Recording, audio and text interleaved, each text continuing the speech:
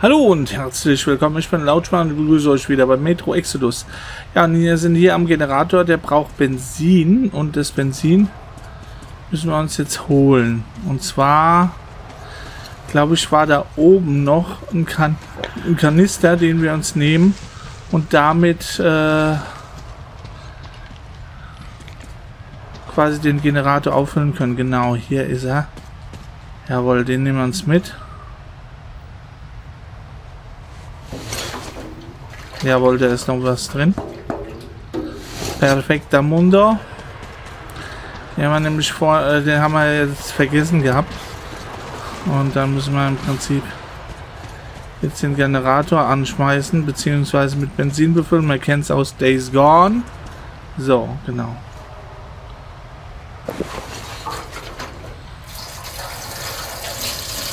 Und dann müsste sich auch das Tor öffnen.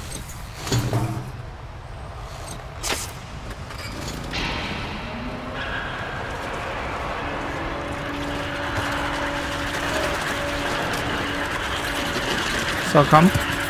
Wir müssen dich wieder.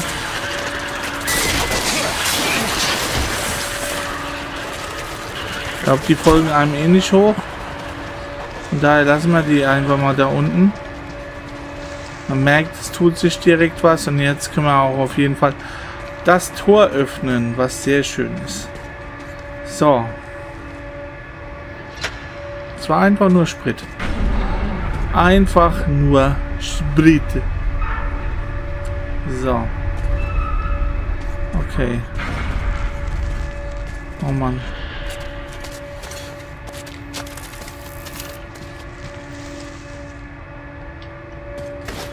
So, jetzt sammeln wir wieder ein paar Sachen hier ein, würde ich sagen. Oh, hier ist eine Werkbank, das ist gut. Perfekt ist es sogar. So. Spritzen auffüllen. Filter war auch bitter nötig. So. Oh ja, jawohl, sehr schön.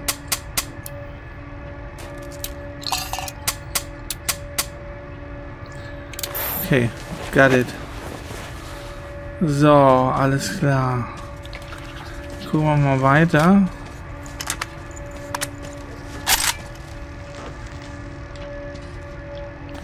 Okay, hier müssen wir die Treppe hoch. Dann dürfte das eigentlich schon passen. So. Alright. Okay, hier müssen wir durch, wahrscheinlich. Hoffentlich ist die auf. Jawohl, sehr schön. Was ist das? Ah, das ist nur eine Ratte. Okay. Ähm, das hört sich nicht so gut an. Tatsächlich. So. Okay, hier speichert schon mal. Das ist schon mal viel wert. Würde ich sagen. Okay, wir müssen, glaube ich, hier die Leiter hoch.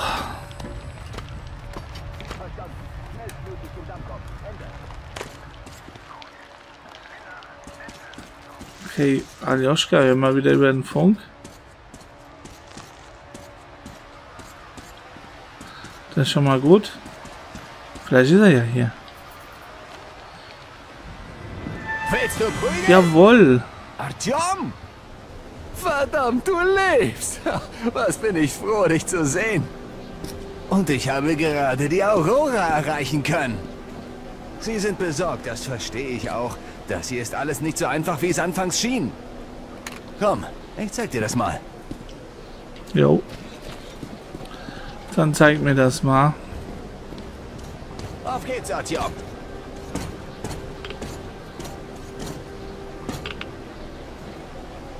Ja und? Hörst du den Zähler ausschlagen? Hinter diesem Beton befinden sich Unmengen radioaktiven Sediments.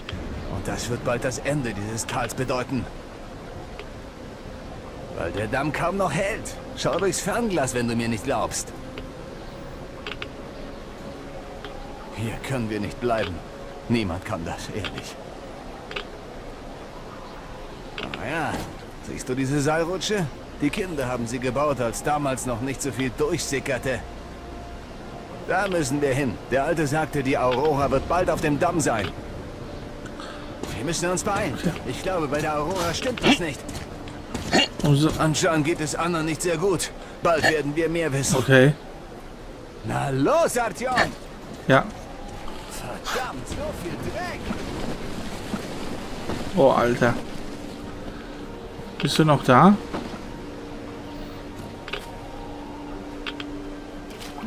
Mann, ich habe hier dieses fantastische Mädchen getroffen. Eine Hammerfrau. Sie heißt Olga, ist Ausbilderin. Ja. Alle haben Respekt vor ihr. Wir hatten auch schon das Vergnügen. Und sie ist sehr verständnisvoll. Hat mir geglaubt, als ich sagte, wir seien keine Feinde. Sie war diejenige, die mich aus ihrem Lager hat gehen lassen. Liebe auf den ersten Blick. Ich habe euch doch von meiner animalischen Anziehungskraft erzählt. Das ist der Beweis.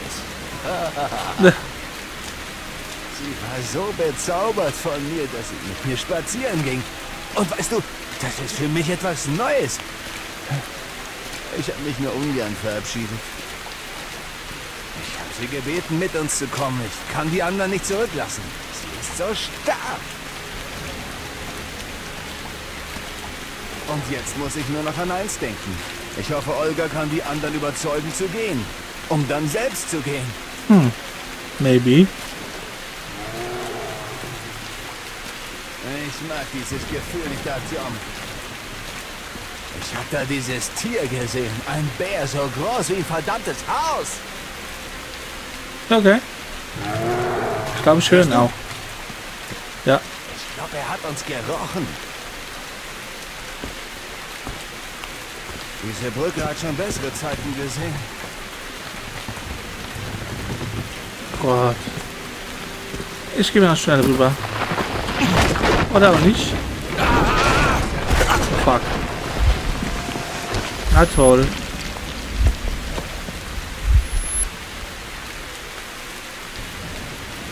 Was jetzt? Oh nein, steckt der fest im... Lebst du noch?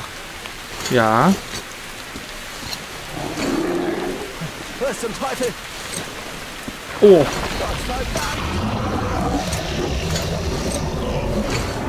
oh Gott.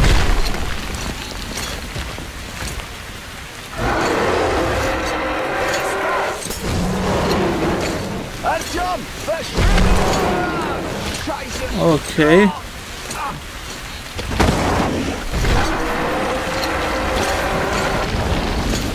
Alter. Oh Mann, oh Mann, oh Mann, oh Mann.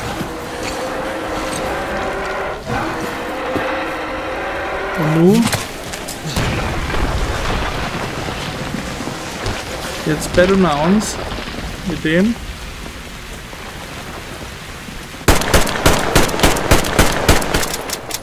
Geil. Okay. Scheiße. Und jetzt? Was haben wir sonst noch? Gar nichts, ne? Geil.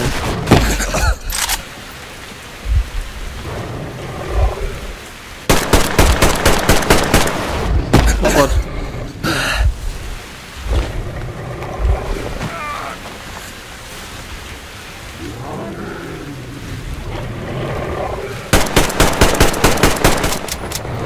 Gott. Hoffentlich haben wir immer genug Dings.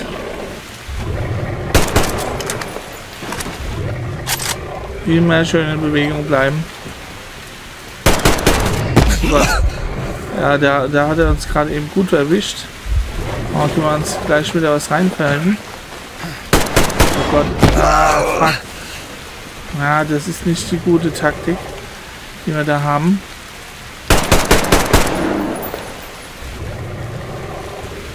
Oh Mann, oh Mann, oh Mann, oh Mann, oh Mann.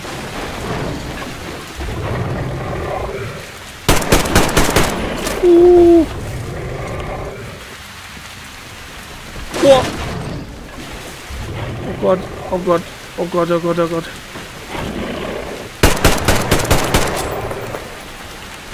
Scheiße. Und jetzt, jetzt haben wir, jetzt haben wir gelitten. Scheiße.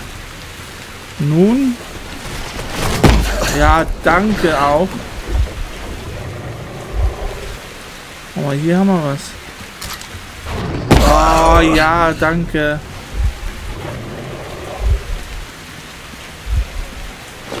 Wow.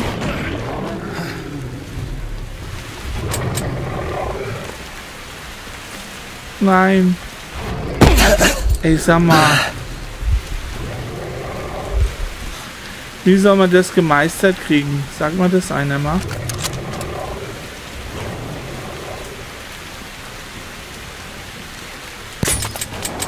Ja, danke. Ja. Nice. Jetzt will man auf jeden Fall die letzte geben. Oh, scheiße. Und jetzt? Kacke. Oh ja, danke. Okay. Die hat es auch gut.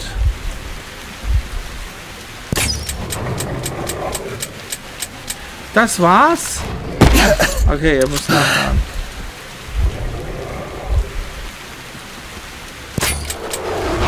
Ja, danke. Ist der mal irgendwann...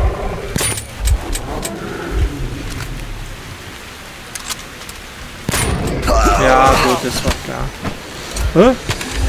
Okay. Nee, er ist tot, ne? Ja. Da.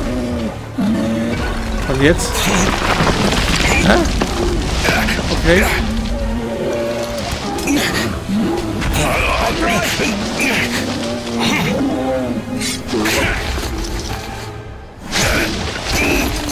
Alter. Jo, nice. Sehr schön. Geil. Easy, würde ich sagen. Easy. Was für ein gewaltiges Biest. Na, absolut. Hilf mir, Artyom. Das Seil muss wieder auf Spannung gebracht werden. Okay.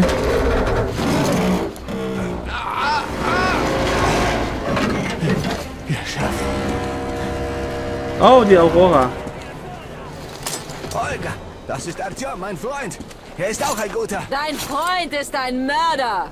Artyom, wie konntest Und du du nur? bist ein Lügner. Ich will nichts mehr mit dir zu tun Olga, haben. ich komme wieder. Wenn du das tust, bist du tot. Artyom, auf geht's. Okay. Hast du sie wirklich getötet? Warum? Diese Typen sind doch noch kleine Kinder. Warum? Artyom! Oh nein. Oh nein. Oh scheiße. Aljoschka. Fuck. Alle Mann! Zur Aurora! Da geht es gar nicht gut. Wir müssen los. Ja. Die Zeit ist knapp. Okay. Kein Problem. Weder die Luft noch die Medikamente von unterwegs helfen mir noch.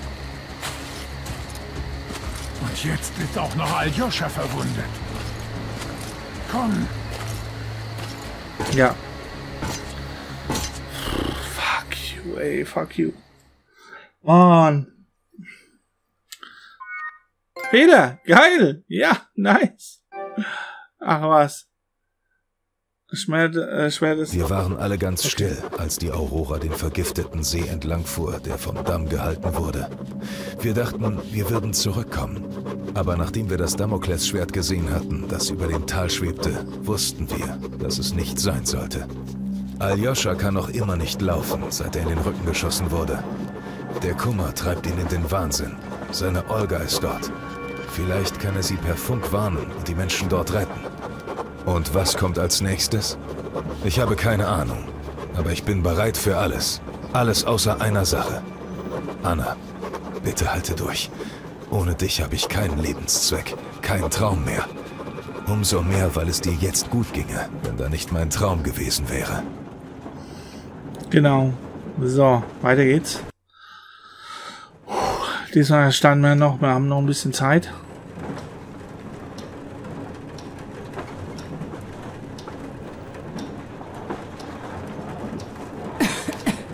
Weißt du, Artyom, als ich das Foto des Pazifischen Ozeans fand, wusste ich irgendwie, dass wir am Ende dorthin gehen würden.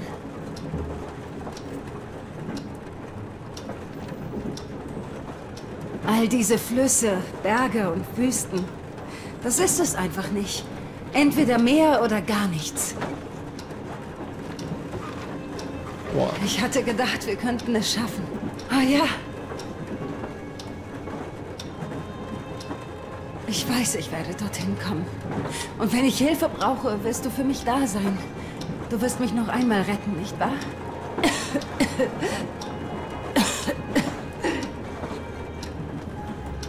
Atjam, bitte. Hör auf, dich selbst zu quälen. Es tut schon weh, dir zuzusehen. Dir und Papa auch. Es ist nicht dein Traum und nicht sein Glaube an die Besatzungstruppen. Das ist einfach nur Schicksal. Ein dummes Stück Stoff im Wind. Vergammelter Beton. Ein idiotisches Munitionsdepot.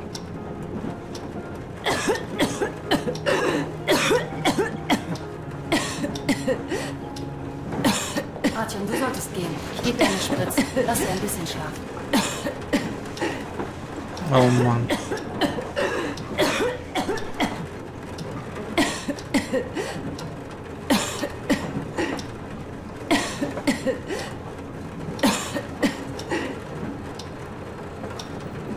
Ja, Hauptsache sie kann sich jetzt ein bisschen beruhigen. Oh Mann.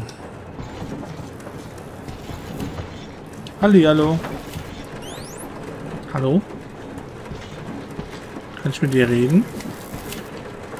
Anscheinend nicht. Komm mal mit, Bruder. Es gibt was zu besprechen. Okay. Hey, lass die Arbeit mal für einen Moment sein. Komm zum Führerstand. Stefan, komm zum Führerstand. In Ordnung, einen Moment. Olga, Aljoscha hier. Ich melde mich wie versprochen. Ich hoffe, du kannst mich hören. Ah, da ist er. Wir haben den Damm und das Staubecken. Ihr müsst das So. Aljojan nimmt Kontakt auf. Er hofft, dass er sie warnen kann. Komm schon.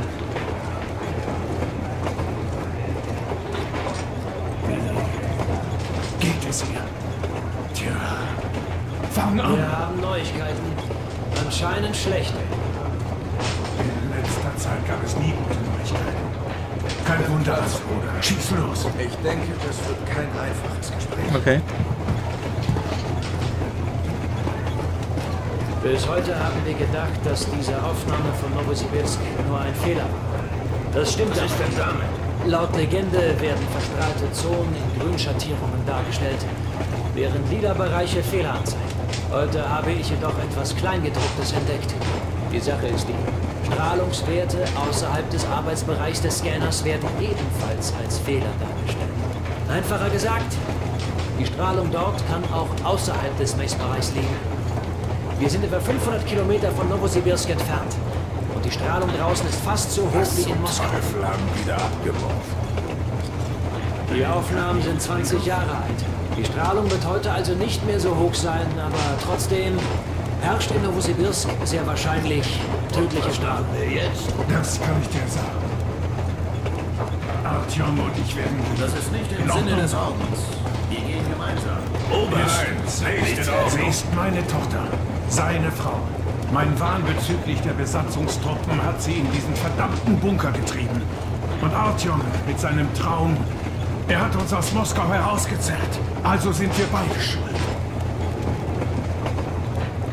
Trotzdem sind wir der Orden. Wir sind ein Team. Wir sollten alle entsprechend handeln. Wir sollten alle gehen. Diskussion beendet. Dies ist kein Einsatz des Ordens. Das ist ein persönliches Ding von mir und Artyom. Wir brauchen keine Hilfe. Wir wissen nicht genau, wo die Medizin lagert. Sie könnte im Stadtzentrum oder in einem der Labore in Akadem Gorodok sein. Somit könnte Annas Leben auch in euren Händen liegen. Drittens und letztens. Wo auch immer wir hingehen, der Winter kommt. Und wenn die Aurora im Schnee stecken bleibt, Das können wir uns nicht erlauben. erinnert ihr euch, was Jermak gesagt hat? Sag es bitte Am nochmal. Stadtrand befindet sich ein großes Eisenbahnmuseum. Dort können wir sehr wahrscheinlich einen Schneepflug für die Aurora finden. Eure Aufträge sind das Durchsuchen der Labore von Akadem Gorodok und das Bereitmachen der Aurora für den Winter. Team, bereit machen zum Einsatz. Jawohl. Außerdem wird ab sofort dauerhaft die Strahlung draußen überwacht. Sam, du machst den Anfang. Ich denke, dass die tödliche Strahlung für uns eine gute Nachricht ist. Sie meinen, weil dann niemand die Drogerien und Krankenhäuser ausgeraubt hat? Genau. Im Gegensatz zu den Städten, durch die wir gekommen sind. Herr Oberst, der aktuelle Stand zu den Anzügen. Ja, wie sieht es aus? Ich konnte nur zwei Stück fertig machen. Siehst du? Die sind für Artyom und mich. Das ist Schicksal. Werden Sie helfen? Naja, sie schützen vor Staub, aber die direkte Strahlung ist dort so hoch, dass sie vielleicht... Ja, kannst du den Schutz verbessern? Jarmark hat bestimmt noch Bleifolie auf Lager. Aber die Anzüge sind bereits recht sperrig und schwer. Wir wollen ja auch nicht auf eine Tanzparty. Wie viel Zeit wird uns das verschaffen? Ein paar Stunden. Nicht genug, glaube ich. Besser als nichts. Keine Sorge, das passt schon. War immer so. Ich werde die Kabine des Wagens auch mit Blei versehen. Also sollten Sie drin bleiben, solange Sie können. Danke. Dann leg los. Jawohl, Herr Oberst. Okay.